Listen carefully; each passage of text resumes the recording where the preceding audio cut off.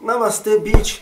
Você tá bem? Você tá legal? Eu quero saber. Olha, nem vai começar já a me xingar ou falar um monte de coisa que eu tô ridículo. Eu sei que essa touca é ridícula, é, e o clima nem tá tudo isso para usar isso. Porém, eu estou muito solidário ao que a gente chama de Outubro Rosa, ou Outubro Pink, ou Pink October, whatever. Então eu acho que é hora sim de pegar e começar a usar pink. Bom, pink é uma das minhas cores preferidas, rosa. É, nem vem começar a me encher o saco também por causa disso. Eu gosto da cor cor-de-rosa e acho muito legal. E a cor cor-de-rosa tem uma função muito especial, principalmente no mês de outubro. Se bem que eu acho que a gente tem que pensar nisso o tempo todo, qualquer mês do ano tá valendo. Então nem começa a falar que eu tô ridículo, porque eu só estou usando isso aqui nesse tom rosado para dar um apoio às minhas mulheres lindas desse mundão de meu Deus. Então não vou nem ficar enrolando muito e vamos começar.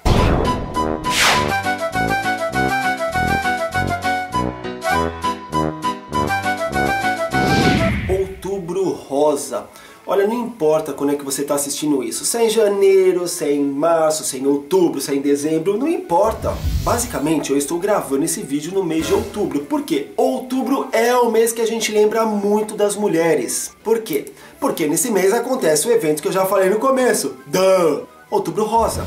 E o que, que é Outubro Rosa? É um nome que remete àquele laço, sabe aquele laço cor-de-rosa? Você sabe, né? Então, é o mês que simboliza mundialmente a luta contra o câncer de mama. Parece incrível, né, que a gente ainda esteja falando sobre isso, mas olha, é alarmante o que acontece no mundo, infelizmente. É, muita gente, mas muitas mulheres morrem por causa de câncer de mama. Isso acontece com homens também, sabia? Bom, o que é então o movimento Outubro Rosa? É um movimento que começou nos Estados Unidos contra a luta ao câncer de mama. Principalmente mas a conscientização. Por quê? Porque acredite, tem muitas mulheres que não fazem o autoexame, elas não se tocam, então elas não sabem que podem ter câncer de mama. E isso mata. Mata. Então, que tal tirar a bunda gorda ou a bunda magra da cadeira e começar a fazer exame?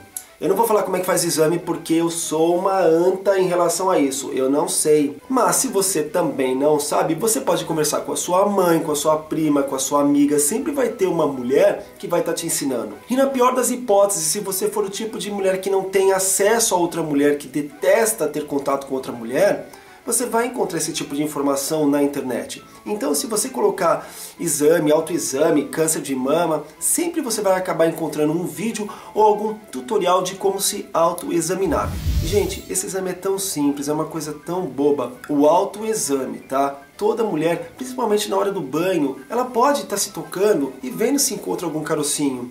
E olha, a prevenção sempre é o melhor remédio para qualquer coisa. Porque tem muita gente que fica com aquele medo, ai meu Deus do céu, se eu descobrir que eu tenho uma doença, eu vou morrer. E aí acaba deixando para lá, porque fica com medo de descobrir que tem um exame, e aí quando vai ver já é tarde demais. E aí, ó, e se você percebe que você tem alguma coisa, algum carocinho logo no começo, é tudo tão mais rápido. Basta você ir até o seu médico e pedir para fazer uma mamografia. Olha, me perdoe se eu estiver errado, eu não sou um conhecedor a fundo do assunto, porém, como uma pessoa que dá a cara para bater aqui quase diariamente fazendo vídeos, eu tenho que também fazer a minha parte, né? E aí eu tenho que te alertar para isso. Eu, graças a Deus, não tenho ninguém na minha família que teve esse problema ainda. Mas a gente conversa muito sobre isso na minha família. Porque a gente sabe que isso é um problema que está aí que tem que ser enfrentado. Mas então vamos falar um pouquinho do Outubro Rosa é um movimento muito legal, muito bonito até, e principalmente que tenta conscientizar não somente as mulheres, mas também os rapazes, porque que homem não tem uma mulher do lado? Que homem não tem uma mãe, uma irmã, uma prima, uma amiga ou qualquer coisa, uma chefe, qualquer coisa? Você como homem, você conhece uma mulher, e você mulher, você tem que se examinar. Ou tem que falar isso para sua amiga também, né? Uma coisa que eu acho muito legal também do Outubro Rosa é que alguns monumentos do mundo inteiro são iluminados na cor rosa no mês de outubro. Você vê em Curitiba aquela casa toda de vidro, que é o símbolo de Curitiba, toda iluminada de pink. Já aconteceu, eu não sei se ainda acontece, mas eu acredito que sim, do Cristo Redentor no Rio de Janeiro e tantos e tantos outros monumentos ao redor desse mundão só para lembrar você, mulher, e você, homem, de que a gente tem que fazer alguma coisa sim para combater essa doença. E aí o que, que a gente faz principalmente no mês de outubro? A gente veste pink. Ah, você pode estar pensando, ah, que coisa mais ridícula. Primeiro, não é ridículo porque cor-de-rosa é uma cor muito bonita e muito charmosa. Mas cada vez que você vê uma pessoa usando pink ou com um laço pink, você está remetendo aquela ideia para a pessoa de que ela tem que se autoexaminar. Você coloca na cabeça, principalmente das mulheres, elas não esquecerem de fazer o autoexame. Isso salva vida. A partir do momento que salva a vida, já está valendo a pena. Então, é muito normal durante o mês de outubro eu estar tá usando basicamente alguma peça rosa. Até a minha cueca pode ser cor-de-rosa. Pra quê? Porque às vezes fica saindo aquela coisinha do lado de fora, não custa nada lembrar, não é? Bom, no meio desse monte de delongas e pensamentos, o que eu quero dizer para você é conscientize-se, tá? Faça alguma coisa, converse a respeito, tente entender o que é essa doença que mata tanta gente. E que, olha, se a gente fizer alguma coisa, a gente pode acabar com esse mal. Só depende da gente. Só depende da gente se abraçar, tocar no assunto que é doloroso, mas enfrentar de cabeça erguida e estar tá sempre preparado. Porque quando a gente se prepara, quando a gente se imune de informação, a gente consegue vencer essa batalha. E às vezes a gente consegue vencer até a guerra. Eu sei que tem um lado chato ficar falando de estatística, mas eu vou tentar ser bem breve só para você ter uma ideia de algumas coisas que eu achei na internet, tá? No ano de 1990, nossa, velho, né? Pois é, mas são estatísticas. Fazer o quê? Nesse ano, apenas 8% das mulheres acima de 40 anos fizeram mamografia no Brasil. Dá para acreditar? Bom, isso falando do sistema SUS, que cobre pelo menos 70% do público brasileiro, tá? E ó, essa palavra é difícil, mas eu vou tentar. A susceptibilidade por câncer de mama ocorre tanto por herança materna quanto paterna. E você tem que ficar ligado, porque quanto mais casos de câncer de mama na sua família, maior a probabilidade de que outras pessoas tenham essa doença. Então, olho no lance, tá? Quando eu digo olho no lance, eu não estou falando para você ficar olhando nas peitolas. Não é isso. Eu estou falando principalmente para você que é mulher ficar preocupado e estar tá sempre fazendo exame. E se você descobrir qualquer coisa, vai fazer uma mamografia. Gente, não tem por que não fazer. Tudo bem que pode ser caro. Isso é outra coisa que mais me assusta no país, ah, enfim, no Brasil, no Brasil com S. Eu acho que se fosse Brasil com Z daria tão mais certo, viu? O lado ruim exatamente isso. 75% do equipamento para fazer a mamografia, os mamógrafos, estão em clínicas particulares. Então, a grande maioria das pessoas que não tem um plano privado tem que usar o SUS. E aí que o bicho pega, né?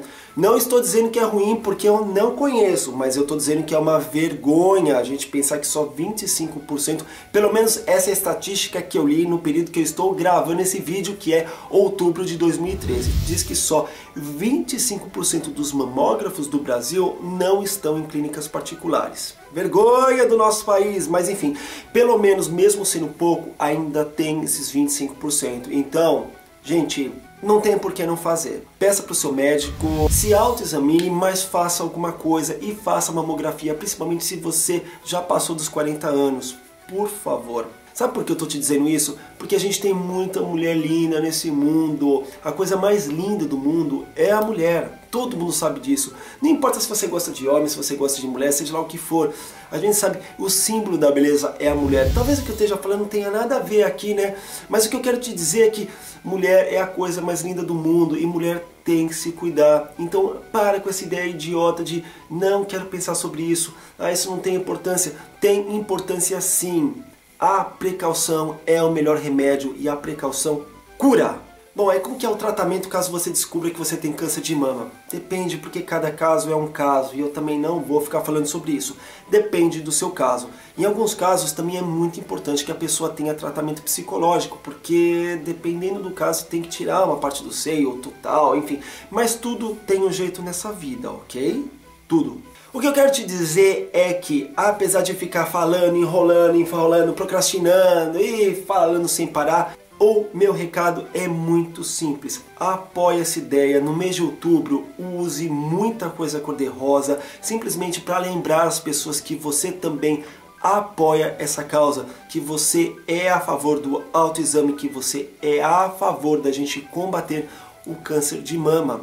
Então, Ponha muitas coisas rosas na sua casa, vista pelo menos alguma peça e sempre que você tiver oportunidade, conversa sobre isso. Claro que você não vai chegar numa mulher e falar: "Ó, oh, você está se tocando para saber se você tem câncer?" Chega a ser ridículo.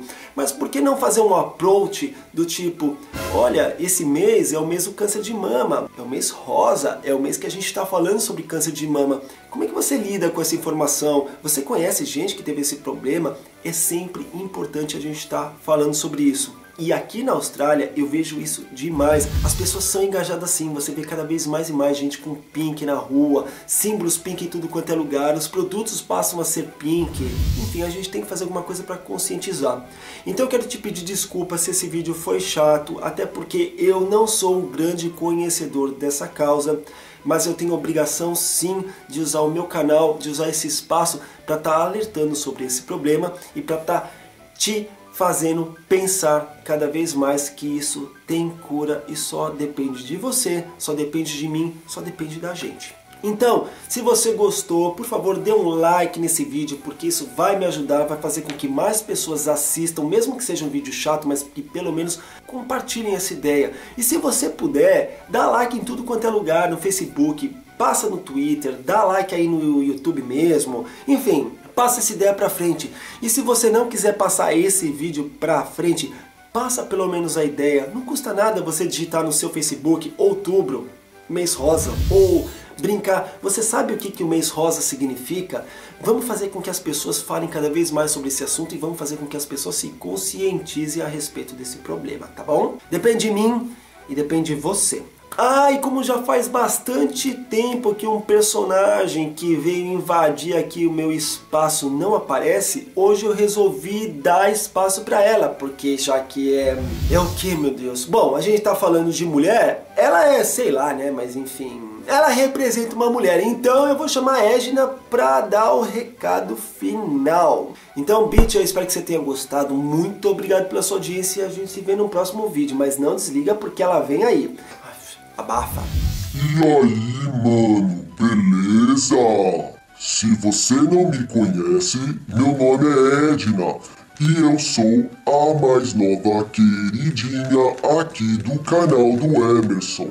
É, dá pra ver que quando eu falo não tem muita coisa acontecendo, porque eu falo e a voz sai depois. Mas tudo bem. Eu tô aqui só para te dar um recado, minha querida e meu querido. Pense nesse mês como um mês que a gente pode fazer alguma coisa pra ah, conscientizar as pessoas com esse problema que é câncer de mama, tá? Então é isso. Faça a sua parte use rosa. Eu não tô usando rosa, mas a minha boca é rosa, ó. Eu fico por aqui também, o Emerson já foi e eu espero que você tenha gostado desse vídeo. Namastê, bitch. Tchau.